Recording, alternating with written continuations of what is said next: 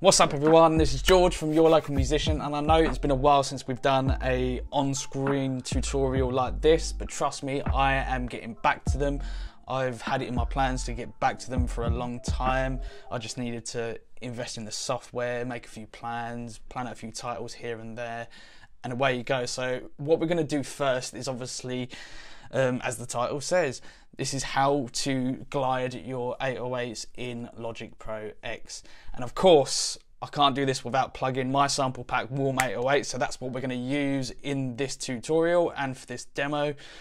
And um, yeah, so basically what I'm going to do is obviously show you how to glide your 808s in Logic Pro X using its own sampler EXS24. Now as you can see obviously from the screen I've already got um, uh, one set up here. So first we're just going to play the beat so you can obviously hear what you're going to learn.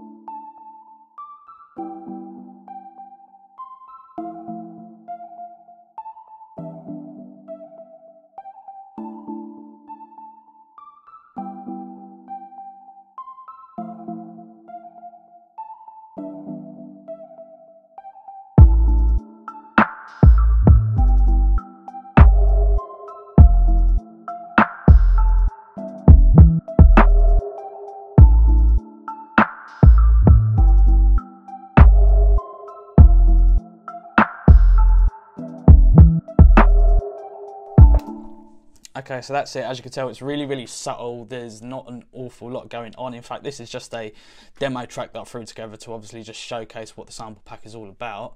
And when you pick it up from my website, which I will bung a link to down in the description. And obviously, this is what you get when you buy the pack. Now, in total, there is 512 808s in this pack, I believe. Uh, we've got a chromatic bunch which sound beautiful. Then we've got a bunch more.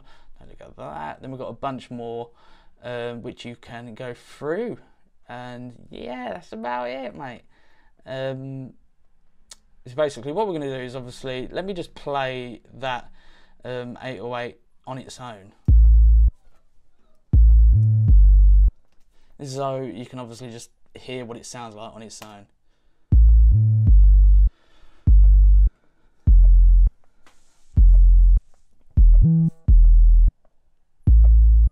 So nothing fancy, but it does the glide what we're on about, and it sounds pretty good with the rest of the beat. Um, so we're just going to create that um, instrument from scratch. And so, firstly, what you actually want to make sure of is, is of course, this isn't actually going to work unless you've got your advanced tools turned on. So go over to Logic Pro X, Preferences, then down to Advanced Tools, and make sure that all of these options are ticked. Because if they are not ticked, then you won't get some of the options that I'm about to show to you. So if we just get straight into obviously creating the instrument and obviously I had machine up here so I am just going to change that to a stereo track of EXS24 now when you've got those advanced tools um, turned on you'll notice that you'll get an edit button here so, to, so obviously to get the 808 sample into the sampler itself what you're going to do go ahead and hit edit and that's obviously going to bring up this window here and now if you go to the pack itself, let's just make this nice and easy. Let's get the first um, 808 from the chromatic kit. And obviously this is tuned to C3, so I've got to change nothing there. And firstly, the uh, go away. I just want to get there. There we are. Lovely. Um, firstly, what I'm going to do is obviously save the instrument so if I just name this 808 tutorial warm for warm 808s.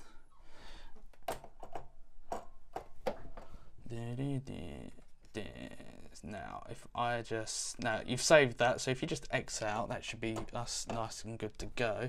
But obviously, we've got to make sure that we can actually hear it. So, beautiful, George. Beautiful, beautiful, beautiful, beautiful.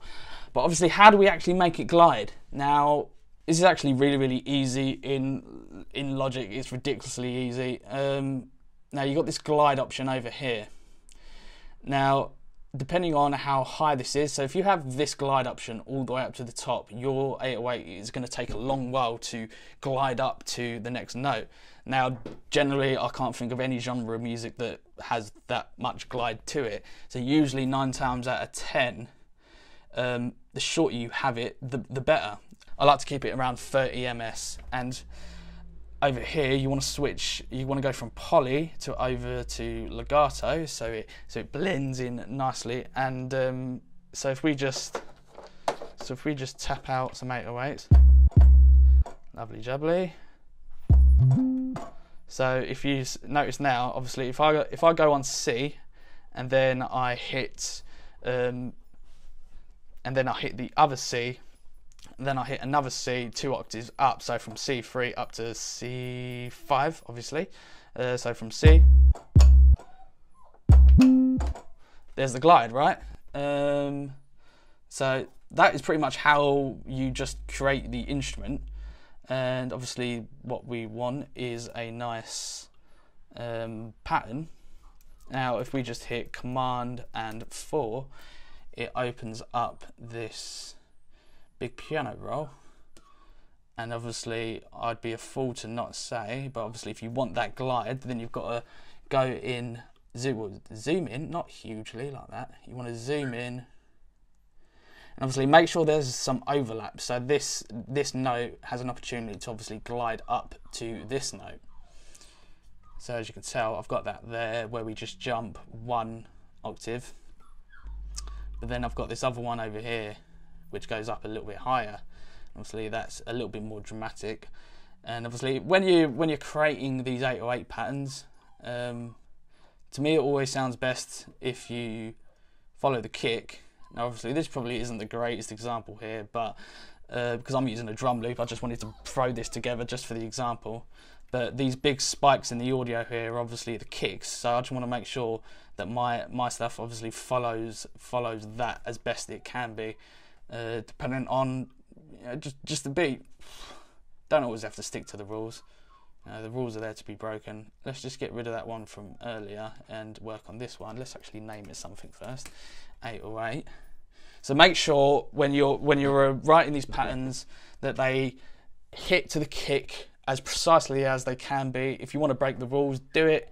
It's your track. Um, but generally, I find following the kick uh, makes it always sound that bit more effective and good as a wholesome sort of piece. And so what we're going to do here is let's just stick stick some extra gain on it. This is Firefly. This is an excellent compressor from Soundspot, I believe. If you hear crying in the background, that's actually my little puppy. She's really quite annoying. but it's fine. She's a baby, isn't she? So, all right, so if we just play that now.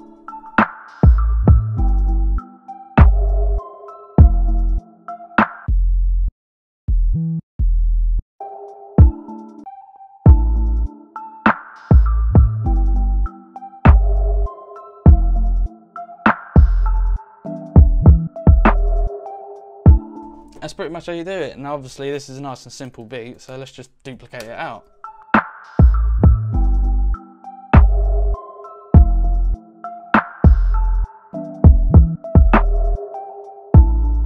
Obviously you might want to beef up those 808s more you know raise some raise some highs raise some lows do whatever you want to make it sound a little bit more crazy.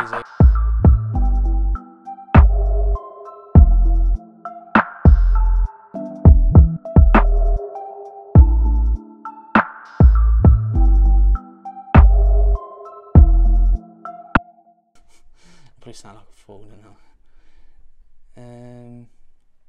that is pretty much it guys. It's, not too hard. Now i want to do another tutorial on this in in in later videos but uh, we're going to do tutorials more. We used to do them an awful lot then we stopped doing them for a little bit but i'm i'm really feeling like this is this is the way to go for, for me. I like to teach. Some of you guys say um, i talk too much in these um, which i'm doing right now but If you don't like it, don't watch it. but if you do, then hit that subscribe button, hit the notification bell, and you're gonna love it. And if you want to pick up Warm 808s, I'm going to leave a link down in the description below so you can pick that up so you can follow this tutorial down to the T. Thank you.